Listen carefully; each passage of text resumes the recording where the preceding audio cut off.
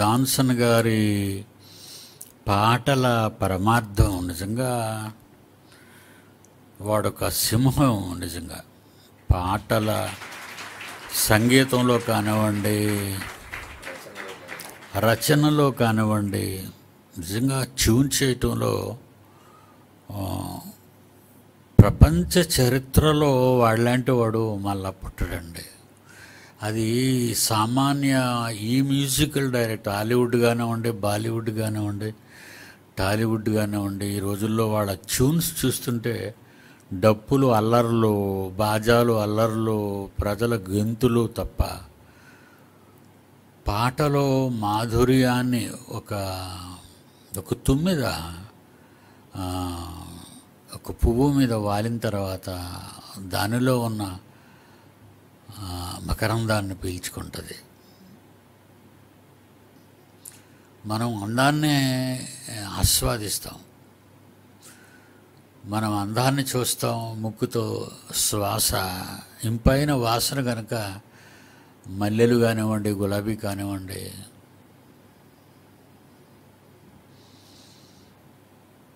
పది లక్షల నేను పంపించాను నా పిల్లలకి నాకు అది గుర్తులేదు. ముక్కంట పది లక్షల పది లక్షల కోట్లు మరి గుర్తులేదు నాకు ఆ బిట్టు.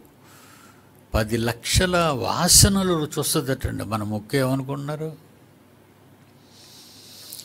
అనవసరంగా ఏవేవో పీల్చేసి మీ ముక్కులో ఉన్న సెన్సార్స్ని పాడు చేసుకోకండి. ముక్కులో సెన్సార్స్ ఉంటాయి. చెవిలో సెన్సర్స్ ఉంటాయి. అంటే అవి లాగుతాయి మొత్తం. నాలుకలో సెన్సార్స్ ఉంటాయి. పులుపేటి తీపేటి అది ఎలా చెప్తుందో ఈ స్వరం బాగుంది ఈ స్వరం బాగాలేదు అని చెవి ఎలా చెప్తుందో ఈ వాసన బాగుంది ఈ వాసన బాగోలేదని ముక్కు ఎలా చెప్తుందో. నిజంగా దేవుని మహానిర్మాణంలో ఆకారానికి ఎన్ని వండర్స్ దేవుడి మానవ ఆకారానికి చేసేటండి. తాజ్మహల్ వండర్ అంటాడు బుర్జ్ ఖలీఫా వండర్ అంటాడు great wall of China wonder అంటాడు. ఏటోనండి వీళ్ళు? ఎందుకు మరి వాళ్ళు కట్టుకున్న వాళ్ళే వండర్స్ అని వాళ్ళకి వాళ్ళే పొగుడుకుంటుంటారు? నాకు అది చాలా అసహ్యంగా ఉంటుంది వాళ్ళు పొగుడుకుంటూ చరిత్రలో రాస్తుంటే. కానీ వండర్ ఏంటో తెలియదురా మూర్ఖులారా మీకు కానీ మానవ శరీరమే వండర్ ఆఫ్ ది యూనివర్స్ అని ఆ బుక్ ఆంధ్రలో రాశాను నేను సింహగర్జనలో ప్రపంచానికే వింత మనుష్యుని ఆకారం. అందులో ఉన్న అవయవ నిర్మాణాలు.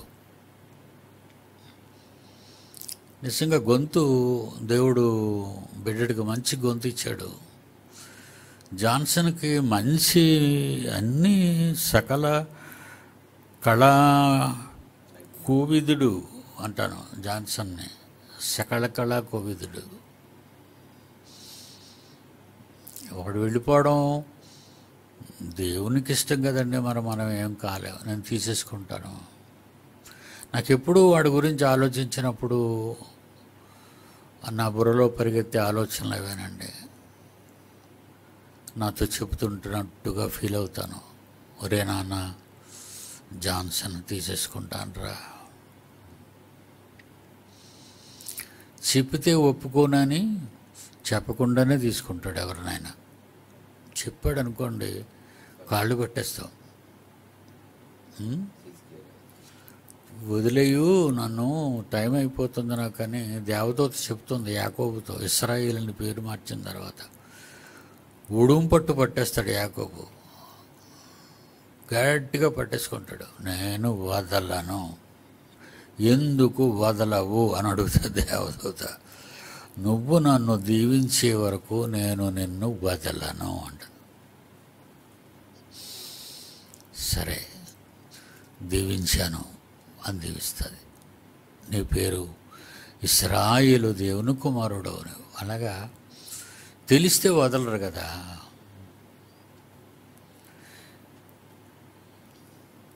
ప్రవక్త అయిన యష్యాతో చెప్తాడు రాజు అయిన ఇస్కియా చచ్చిపోతున్నాడు.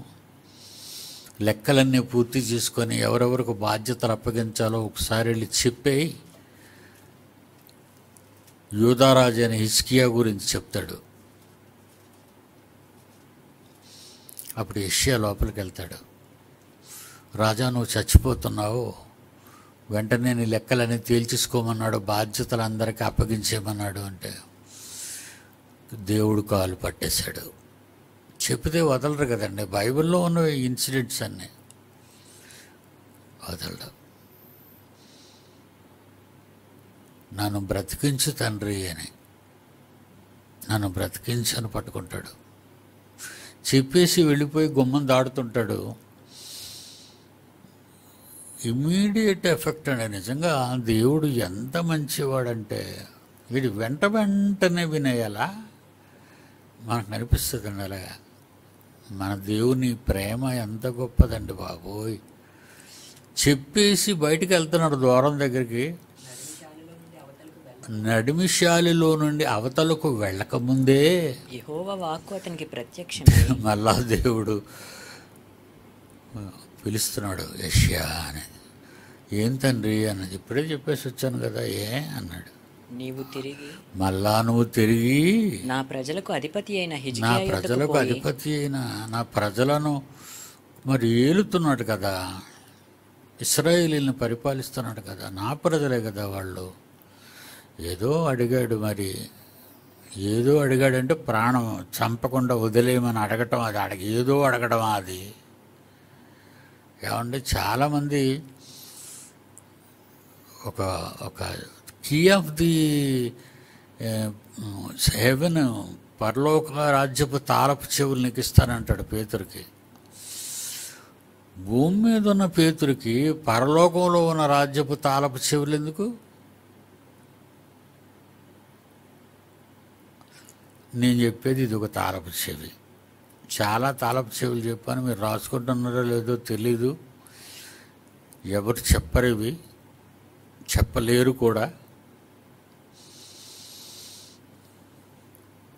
మీరు ఏదైనా దేవుని అడిగితే మీరు ఏదైనా దేవుని అడిగితే దేవుడు ఇవ్వక తప్పడు. అది మీ భక్తి. మీ భక్తి మీద ఆధారపడి ఉంది. నువ్వు చేసేవన్నీ చేసేసి దేవుడిని అడిగేస్తే ఇచ్చాడు.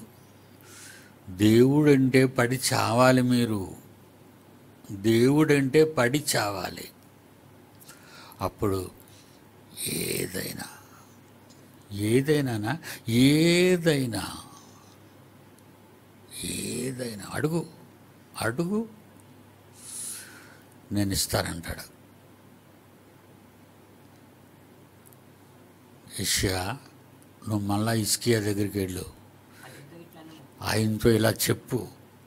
నీ పితరుడైన దావీదునకు దేవుడగు యహోవా. నీ పితరుడైన దావీదు నా పెద్ద కొడుకు. ఎంత మంచోడు తెలుసా? ఎంత మంచోడు. ఎంతో వేలక వేల మందిని చంపేశాడు. కత్తి పట్టుకుంటే రక్తపాతం.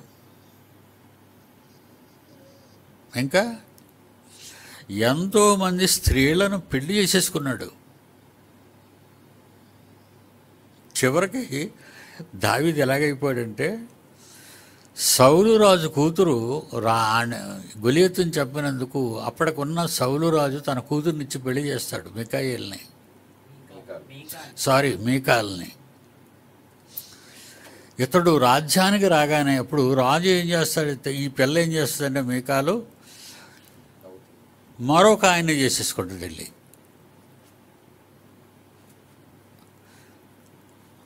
దావీదు సింహాసనం మీద కూర్చున్న తర్వాత నా భార్యను తీసుకొచ్చి అంటాడు. ఏమండి ఇది ఏమైనా ధర్మంగా ఉందా? అప్పటికే తనకు ఒక నలుగురు ఉన్నారు తనకి. అప్పటికే ఇతనికి ఒక నలుగురు ఉన్నారు. నా భార్యను తీసుకొచ్చండి పాపం వెళ్తాడు. దావీదు గారు వచ్చేమంటున్నారు రా అమ్మ అంటాడు. పాపం ఆవిడ లేచిపోద్ది. ఎందుకంటే మాజీ భర్త కదా. మహావీరుడు సింహాసనం మీద కూర్చున్నాడు. లక్షల మంది ఇస్రాయేలీలకి రాజు దేవునికి ఇష్టుడు దేవుని ఇష్టానుసారుడైన మనుష్యుడు. తీసుకొచ్చిస్తుంటే మేకాలు భర్త ఉంటాడు కదా. పాప వాడు వెనకాతలు ఏడ్చుకొని వస్తున్నాడట గొడ్డలు చింపుకొని. నా భార్య నాకు వదిలేయండు అని.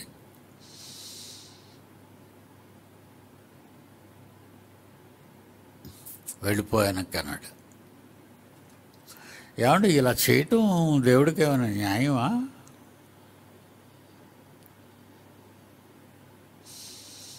మరొకటి జ్ఞాపకం చేస్తాను మీకు ఇప్పుడు.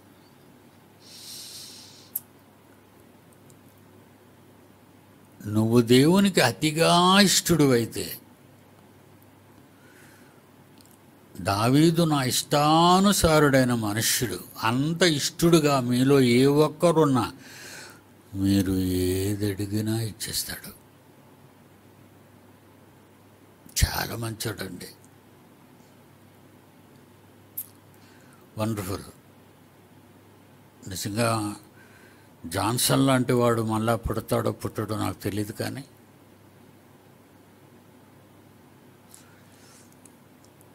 సర్వనాశనం అయిపోతున్న కుటుంబంలో చివరివాడుగా జన్మించాడు. దావిది కూడా చిగురుడే. ఏడోవాడు. యశ్ఐకి యశ్ఐ అనే తండ్రికి దావీదు ఏడోవాడు.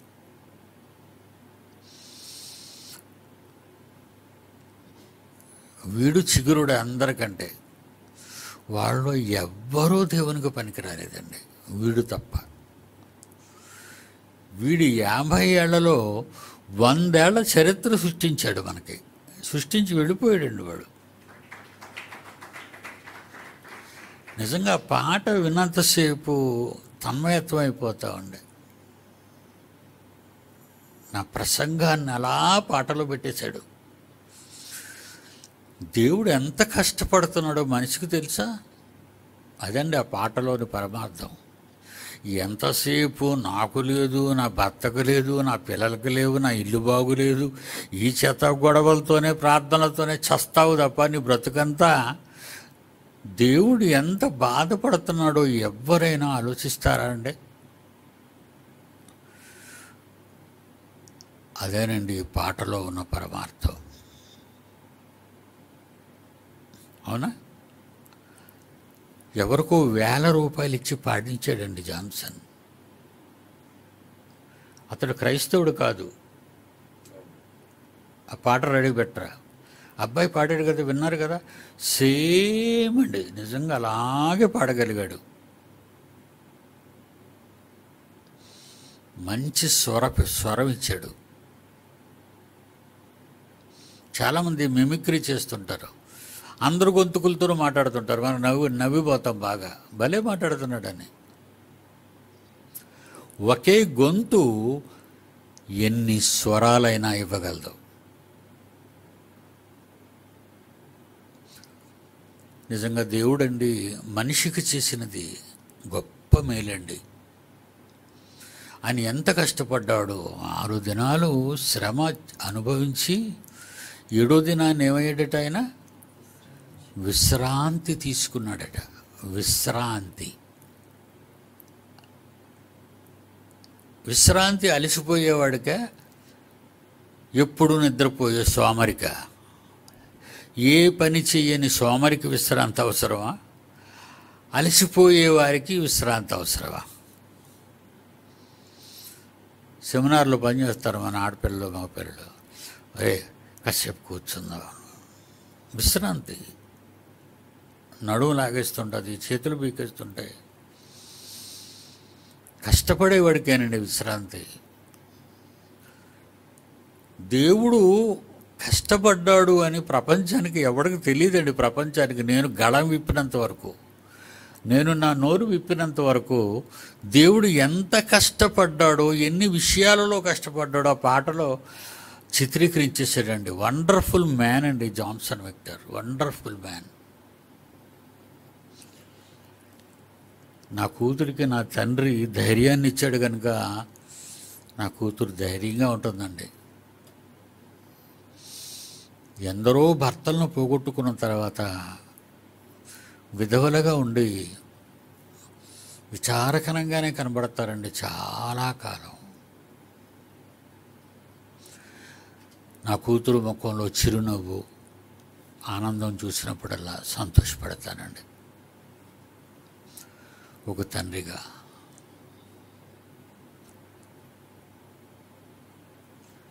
ప్రతి తండ్రి ఆలోచిస్తాడు కదండి కూతురు విధవరాలైపోయింది. మరి ఏం చేద్దాం? నా కూతుర్లో ఏమైనా కోరికలు ఉన్నాయా తండ్రిగా మరి నేను ఆలోచించాలి కదండి ఆడపిల్ల కదా. మంచి వయసులో కదా వాడు వెళ్ళిపోయాడు.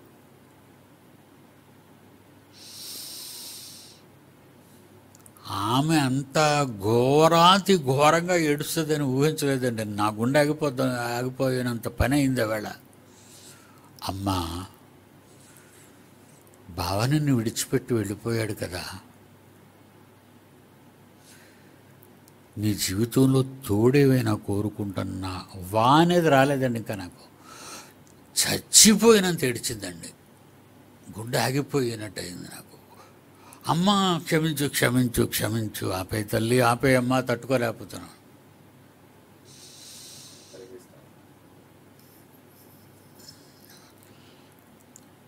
వాళ్ళ మధ్య ఉన్న అపూర్వమైన ప్రేమ.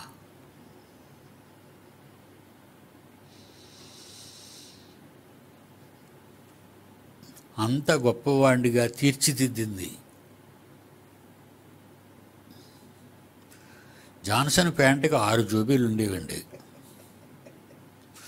చెవులకు లోలక్కలు ఉండేవండి. షట నిండా జోబీలేనండి. మైకిల్ జాక్సన్ లాగా తయారయ్యేవాడండి. అలాంటి వాడిని మాణిక్యంగా మార్చిందండి నా కూతురు.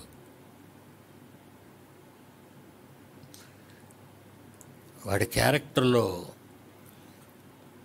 నా ప్రక్కన కూర్చొని ఎప్పుడూ ప్రసంగం అంతా రాసేసేవాడండి. ఏది మిస్ అయ్యేది కాదు. అలా రాస్తున్న ప్రసంగాలే ఇప్పుడు బాంబేలో ఉన్న మన కుమారుడు పాడిన పాట ఎవరో ఒక వ్యక్తి చేత డబ్బిచ్చి పాడించినది ఆ పాట. ఆ పాటలో పరమార్థాన్ని మనం ఒక్కసారి తిరిగిద్దామండి చివరిగా. Okay? Thank you my lovely father. మా జాన్సన్ మా మధ్య నుంచి తీసుకొని మీ మధ్య పెట్టుకున్నారు. దానికి మేము చాలా సంతోషిస్తున్నాం. ఆయన తీపి జ్ఞాపకాలు మీ మీద వ్రాసిన మధుర గీతాలు. మా హృదయాలను ఎప్పుడు విన్న ప్రతిసారి ఆహ్లాదకరంగా మారుస్తున్నాయి. Thank you father thank you ఇప్పుడు కర్నూలు రాజన్న రాసిన పాట విలువైనది మీ ఆయుష్కాలం అనే ఒక పాట. రెడీగా ఉంది నాయన? విలువైనది నీ ఆయుష్కాలం అనే పాట పూణే పిల్లలు హిందీలో ట్రాన్స్లేట్ చేశారు. పూణేలో ఉన్న నా పిల్లలు హిందీలో ట్రాన్స్లేట్ చేశారు. ఈ పాటను మొదట కర్నూలులో ఉన్న రాజన్న దీన్ని రాశాడు. Are you ready to play wonderful wonderful నాన్న పుణేలో ఉన్న నా పిల్లలందరికీ ప్రత్యేకమైన నా అభినందనలు తెలియజేస్తున్నాను. నా సామ్రాజ్యం భారతదేశం అంతా వ్యాపించింది. ప్రపంచం అంతా అక్కడక్కడ వ్యాపించింది. ప్రస్తుతం ప్రపంచాన్నేలే ఎందరు రాజులున్నా ఎందరు మంత్రులున్నా వాళ్ళు వాళ్ళ దేశంలోనే వాళ్ళ ప్రజలను కలిగి ఉంటారు. నేను మాత్రం ప్రపంచంలోని అన్ని దేశాలలో నా పిల్లల్ని కలిగి ఉన్నాను. నేను రాజునంటారా వాళ్ళు రాజు అంటారా మీరు చెప్పండి. ఒక రాజ్యంలో గానం చేసేవాళ్ళు ఉంటారు. వాయిద్యాలు వాయించేవారు ఉంటారు. చట్టాన్ని అమలు చేసేవాళ్ళు ఉంటారు. మంచికి నడిపించేవాళ్ళు ఉంటారు. మంచి అధికారులు పాలకులు ఉంటారు. అలాగే నా రాజ్యంలో. నా పిల్లలందరూ నేను ఊహించిన ఊహలలోనికి వచ్చేసారు వాళ్ళందరూ. పూణేలో ఉన్న నా పిల్లలందరికీ తండ్రిగా నా ఆశీర్వాదాలు మీకు ఎప్పుడూ తోడుగానే ఉంటాయి. కానీ మీరు చేపట్టిన ఈ కార్యక్రమం మీరు తుది శ్వాస వరకు విడిచిపెట్టకండి. నేను ఉన్న లోకాన్ని విడిచిపోయినా నా మాటలు ఈ ప్రపంచంలో ప్రతి నలుచెరుగులకు వినబడాలనే నా కోరిక నా పిల్లల మీద నేను పెట్టిన నా బాధ్యత.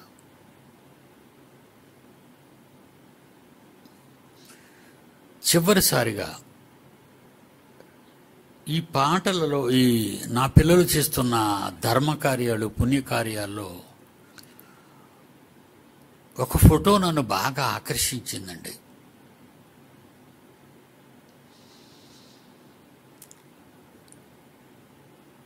ఆ ఫోటోని ఇప్పుడు స్క్రీన్ మీద వేస్తాడు. అది బోరుబండలో ఉన్న నా పిల్లలు దుప్పట్ల పంపిణీ కార్యక్రమం చేస్తూ చూడండి ఆ యవనస్తుడు తాగి నిద్రపోతున్నాడో తెలీదు ఇంటిలో గొడవ పడి వచ్చి ఆ షాపు ముందు నిద్రపోతున్నాడో తెలీదు. లేకపోతే ఈయన కష్టాల్లో చచ్చిపోవాలని వచ్చి ఇంటికి వెళ్ళక ఎందుకంటే ఆ ప్యాంటు ఆ బనేను ఆ చొక్కా చూస్తుంటే ఇల్లున్నవాడు కుటుంబం ఉన్నవాడుగానే కనబడుతున్నాడు. అలాంటి వానికి ఆ రాత్రప్పుడు నా పిల్లలు వెళ్ళి ఈ చలికాలంలో అతనికి దుప్పటి కప్పుతున్నారు చూడండి.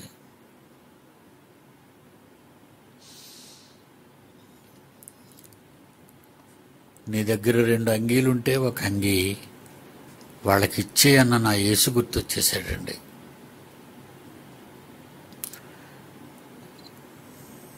వాట్ ఏ సాక్రిఫైస్ అండి నా పిల్లలు. ఇలా దేశంలో నా పిల్లలు చేస్తున్న ఈ త్యాగమైన ధర్మాలు పుణ్యకార్యాలు చూస్తుంటే నేను ఇప్పుడే పరలోకంలో ఉన్నట్టు అనుభవిస్తున్నానండి. నా ఫీలింగ్స్ అలా ఉన్నాయండి. నా పని తుదముట్టించాను అని యేసు చేసినట్టుగా తండ్రి నీవు నాకు అప్పగించిన నా పనులన్నీ పూర్తి చేశాను అని నేను అనలేనండి. ఎందుకంటే ఇంకెన్నున్నాయో నా గురించి రాశాడో తెలీదు. ఆ పనులుంటేనే మీ మధ్య ఉంటాను. ఆ పనులు ఒకవేళ అయిపోతే నేను వెళ్ళిపోతాను. పనులు అయిపోయాయి అనుకోండి నేను వెళ్ళిపోతాను ఇక. ఎందుకంటే ఉంచడు ఆయన. వచ్చాను ఆయన అంటాడు. పని అయిపోయిందిగా? వచ్చాయి. ముప్పై మూడేళ్ళకే యేసుని తీసుకువెళ్ళిపోయాడు. నూట ఇరవై ఏళ్ళకే మోషన్ తీసుకెళ్ళిపోయాడు. తొమ్మిది వందల యాభై ఏళ్ళకే ఆదామం తీసుకెళ్ళిపోయాడు. నన్ను ఎన్నేళ్ళకు తీసుకెళ్తాడో తెలీదు. ఉన్నంత కాలం నా తండ్రి నాకు అప్పగించిన పనులు మీ అందరికీ నేర్పించి మీ అందరి చేత చేయించి నేను వెళ్ళిపోతాను.